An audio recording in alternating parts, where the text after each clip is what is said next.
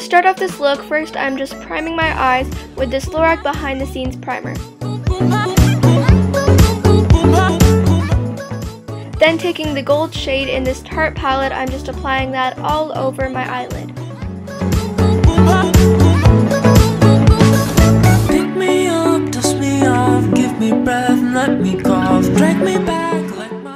And this eyeshadow had lots of fallout, so I'm just wiping away any mistakes. Next in this palette, I'm taking the matte green color and just working it into my crease, and this color is so pretty and it kind of makes the entire look.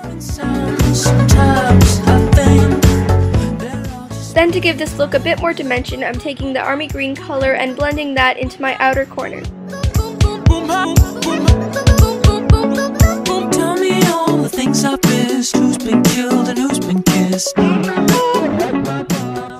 Now that I'm done with the eyeshadow, I'm taking my Sonia Kashuk eyelash curler and curling my eyelashes.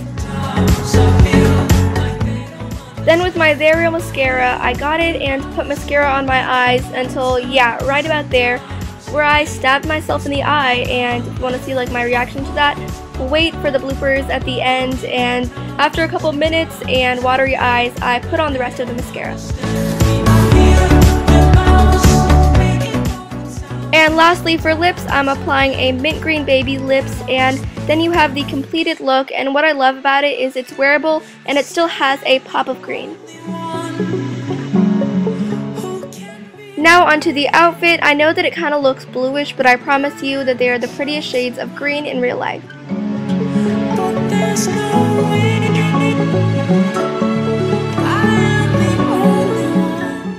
My shirt and cardigan are both from Forever 21. My high-waisted jeans, I don't remember. And my boots are Steve Madden boots.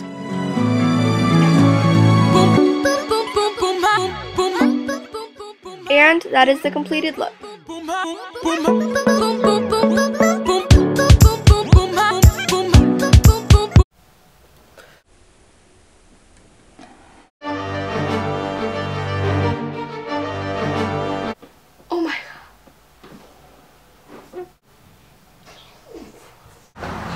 My god. There is a spider like right on my tripod. Let me see if I can get this for you guys.